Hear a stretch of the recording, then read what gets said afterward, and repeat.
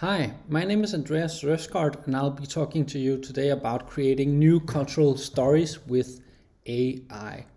Um, before I start, just a bit about myself. I'm a programmer and interaction designer and digital artist, um, doing a lot of artwork with machine learning and code. I also do public speaking, I teach a lot of workshops, and I do freelance uh, work with creative technologies, machine learning, and code.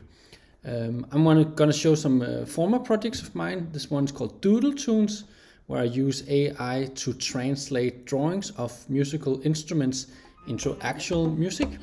Um, I've also worked quite a lot with uh, face uh, technologies, and in this project uh, called Eye Conductor, I translate uh, where people look uh, on a screen into music, enabling people who cannot play traditional instruments to play music.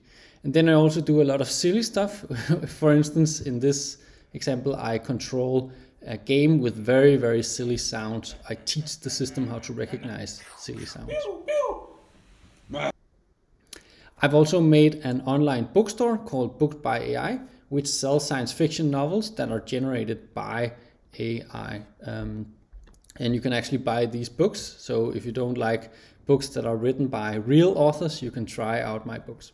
Okay, but today I'm going to talk mainly about two projects related to this topic. Uh, Ågård's Glasplader Remixed and Enter the Art. These are two uh, projects I have made. Um, and Ågård's Glasplader is a collection of high resolution uh, photographies and at a hackathon I trained a StyleGAN model to generate new images. So I trained one that could generate new uh, people in the same style. Um, you see some of them up here. And once the model is trained, it can infinite it can generate an infinite number of uh, people of images. And all of the images they have um, biographies, the original images, and then I used a text generating model called GPT-2 to generate new biographies of the people that I generated. So people that don't exist will have new uh, biographies. So I want to kind of imagine how the lives of these people might have been. So this is one example um, where the text algorithm simply writes uh, a biography about uh, a person. So I'm I'm dreaming about how they their lives could have been.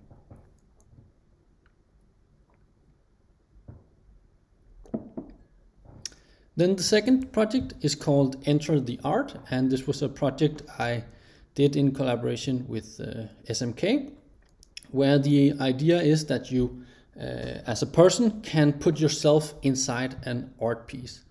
Um, I use technology that can identify where a person is at uh, in a regular image, and then you place that image uh, you, or yourself on top of a well-known art piece.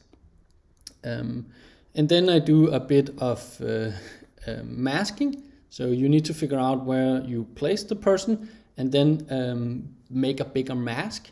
And then uh, AI technology can seamlessly put the two together as though you were in the original picture to begin with. Like so.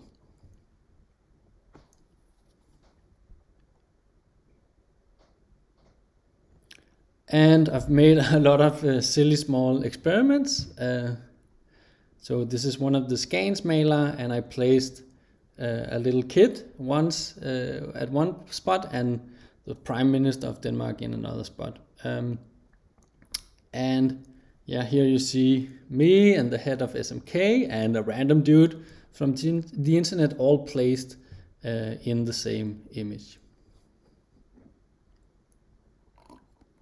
I've actually also done it for some uh, PR work uh, for an upcoming book um, I have out, which deals with creative uses of technologies, um, written together with Mads Korsgaard.